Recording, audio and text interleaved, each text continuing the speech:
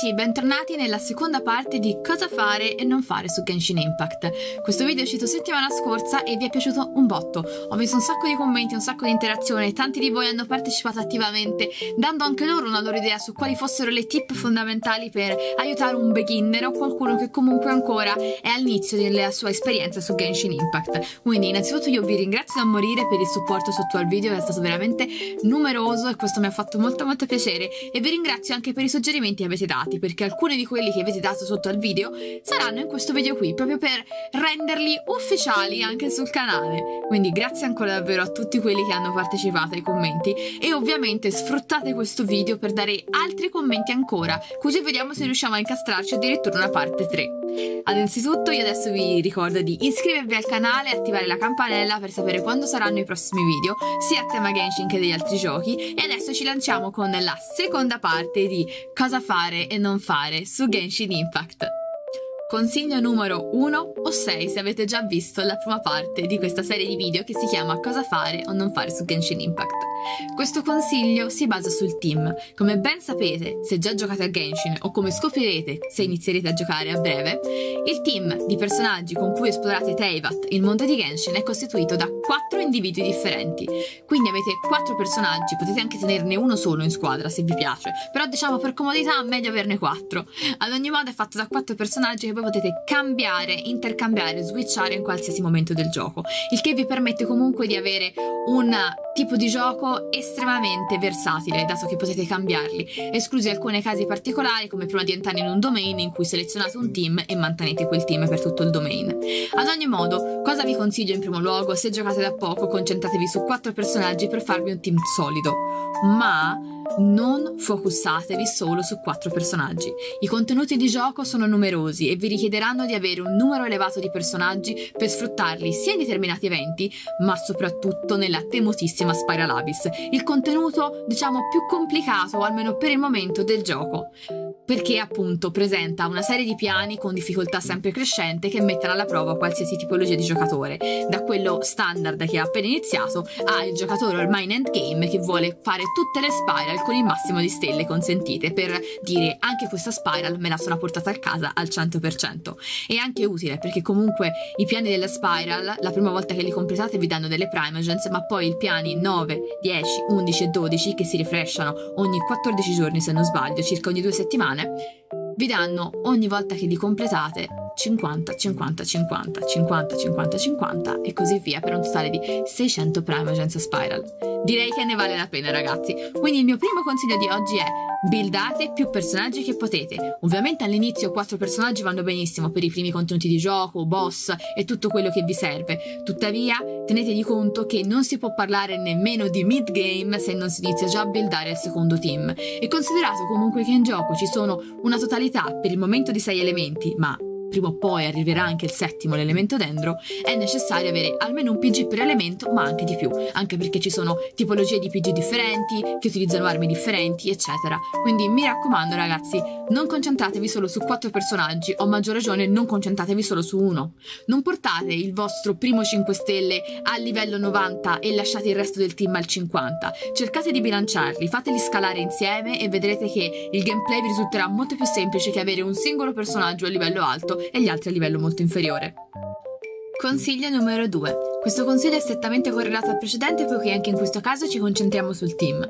Questo consiglio è su come mettere i personaggi in un determinato team. Purtroppo anche io a inizio gioco mi sono concentrata nel mettere quattro personaggi di elementi differenti nel team perché ragionavo nell'ottica dell'avere tante reazioni elementali in contemporanea per fare sì che ci fosse poi un susseguito delle skill che mi generasse tante reazioni elementali differenti per fare più danni. Tuttavia è un errore che molti commettono perché bisogna stare molto attenti perché se voi mettete due personaggi dello stesso elemento nel solito team ottenete dei buff, quindi dei potenziamenti per l'intera squadra. Per vedere questi potenziamenti quali sono per determinati tipi di elementi bisogna andare nella sezione Party Setup e selezionare Elemental Resonance. Vi si aprirà un menu in cui vi mostra se mettete due personaggi Geo insieme e due personaggi Anemo che cosa succede. Un esempio che posso farvi, che è quel primo che ho imparato anche io, è quello dei personaggi Anemo. Due Anemo in team, per esempio una Jin e un Venti, vi danno tre buff che avete su tutto il team, che sono innanzitutto un 15% di riduzione della stamina, del consumo della stamina, poi un 10% di riduzione della movement speed, quindi della velocità di movimento, e un 5% di riduzione del cooldown delle skill, che è la tempistica che vi permette di ricaricare le skill. Quindi capite che sono dei potenziamenti interessanti. Di conseguenza vi consiglio assolutamente di leggerveli per buildare il team a meglio. Ad ogni modo, se poi vi fa piacere e me lo fate sapere nei commenti, le tratteremo tutti in un video apposito in cui parleremo dell'elemental resonance. Consiglio numero 3. Il consiglio numero 3 riguarda la Serenity Teapot, che è stata introdotta nella patch 1.5 e che ha portato un'area di freschezza in Genshin, mettendo anche una dinamica un pochino più chill, che ricorda un po' lo stile Animal Crossing barra The Sims. Questa casetta, che però sembra soltanto una casa delle bambole in cui posizionare personaggi e lasciare animaletti ed addobbarla, ha anche un'utilità ed è per questo che io vi consiglio assolutamente di non sottovalutarla, poiché aumentando il trust rank e quindi salendo nel livello di Teapot sbloccherete della ricompensa.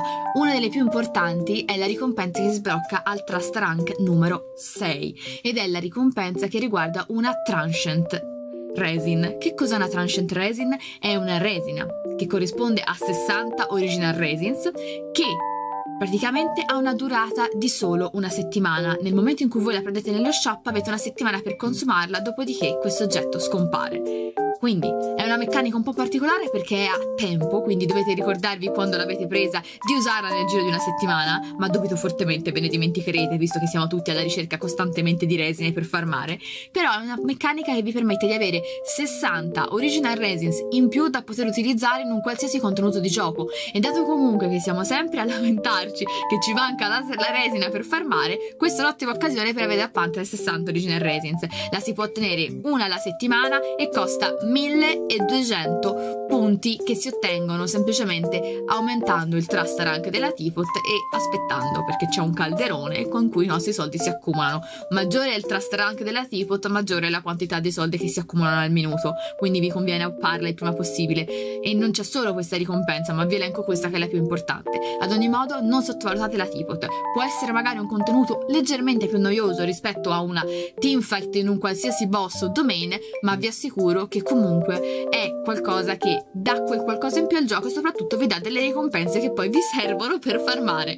Consiglio numero 4. Il consiglio numero 4 riguarda il Parametric Transformer, che è un oggetto che magari non tutti conoscono, che si ottiene con una World Quest che è la Tianku Treasure Trail e praticamente una volta ottenuto questo oggetto potete interagirci, piazzarlo, dopodiché dovete selezionare 150 materiali fra quelli che possedete di qualsiasi tipo, alimenti, rocce e potrete darli, scambiarli in cambio di una run con questo Parametric Transformer che dovete colpire con degli attacchi elementali. Al 100% del caricamento del Parametric Transformer potrete ottenere tutta una serie di ricompense come libri viola, libri blu, materiali di ascensione per le armi e anche frammenti per l'ascensione dei personaggi dei vari elementi oltre a della mora e anche altre ricompense. Si può utilizzare una volta a settimana, dopodiché parte un countdown fino alla settimana successiva in cui sarà di nuovo riutilizzabile. Quindi vi consiglio assolutamente di svolgere questa quest e così ottenerlo. Può sembrare una cavolata, ma ogni settimana qualche libro in più, della mora in più, dei frammenti sono veramente utili, quindi mi raccomando non perdetevi il Parametric Transformer. Consiglio numero 5. Il consiglio numero 5 riguarda l'applicazione Oyo Lab. È un'applicazione ufficiale di MiOyo. Una volta scaricata, loggate con i vostri dati di accesso del vostro account Genshin, tranquilli, è ufficiale di MiOyo, e Funziona in questo modo, si divide in due sezioni, una sezione che funziona più come un social nel quale, avendo un username, potete seguire gli altri, se volete seguirmi mi trovate come Minish Maui, e potete anche interagire facendo commenti, postando foto, video e tante altre cose a tema Genshin. L'altra sezione invece si basa proprio sul vostro gameplay, ci sono delle guide e anche delle agevolazioni in gioco. C'è una sezione che si chiama check-in, ogni giorno potete loggare in questa sezione e cliccando la ricompensa del giorno in cui siete otterrete delle ricompense in gioco che possono essere essere cibo, mora, libri viola o addirittura 20 primogens qualche giorno, che possono non sembrare nulla, ma un login giornaliero alla fine, a fine del mese avete raccimolato un bel po' di cosicce.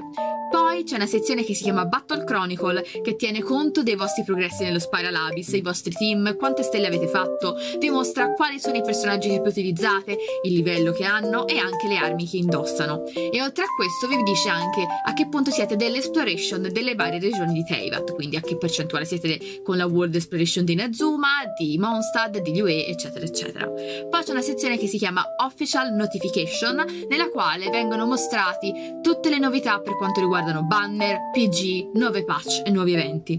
C'è un'altra sezione che si chiama Teyvat Interactive Map, che è una mappa interattiva che vi permette, se state per esempio cercando di buildare venti e per ascenderlo vi servono i Cecilia, che sono i fiori per l'ascensione di venti, di individuare il punto in cui sono sulla mappa, così che sapete direttamente in che regione di Mondstadt andare, senza girovagare a destra e a sinistra, senza sapere effettivamente dove questi Cecilia si trovano. Quindi è molto utile questa mappa interattiva, perché siete voi a filtrare tra le varie opzioni il materiale, che sia un fiore, che sia un tipo di roccia, eccetera, eccetera, che vi serve per individuarlo sulla mappa.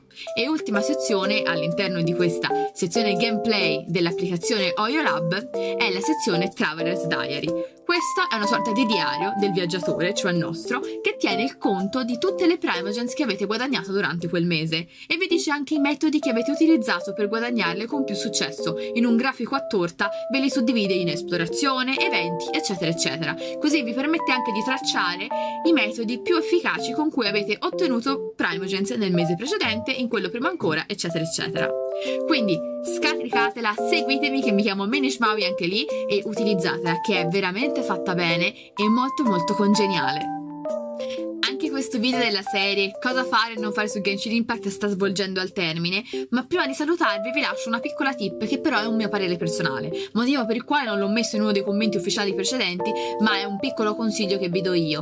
Io ho sbagliato in primis quindi spero che voi non farete il mio stesso errore, ma anche se lo fate non importa, però io mi sento di dirvelo. Quando iniziate a giocare ci sarà un banner particolare, il banner di Noel, che vi costerà soltanto 8 Fate per fare 10 pull, il che è un guadagno perché con 8 fate una multa multi da 10 e potete farlo due volte, quindi un totale di 16 fate per due multi da 10 per un totale di 20 pull. Quello che vi consiglio io è che se riuscite evitate di pullare in quel banner, perché comunque è un banner tra virgolette un po' riduttivo rispetto a quello permanente. Quindi se avete delle fate io vi consiglio di pullarle nel banner permanente e non in quello di Noel. Tuttavia anche io in primis lo fate, quindi se lo fate, se avete intenzione di farlo, va benissimo. È solo un mio parere personale che volevo darvi perché comunque sono qui per darvi un consiglio e questa è la mia opinione. Ad ogni modo ragazzi io vi ringrazio tantissimo per essere arrivati a questo punto del video. È stato molto bello fare una seconda parte di cosa fare e non fare su Genshin Impact.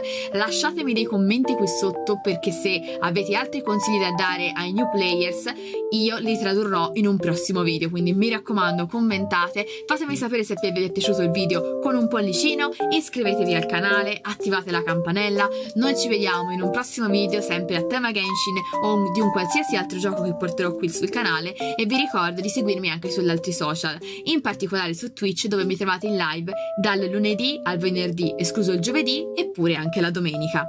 Salvo e cambi di programma che però pubblico sempre nella sezione community o nel server Discord. Quindi vi raccomando, non mancate ragazzi nel live, noi ci vediamo in un prossimo video e vi auguro una buona giornata.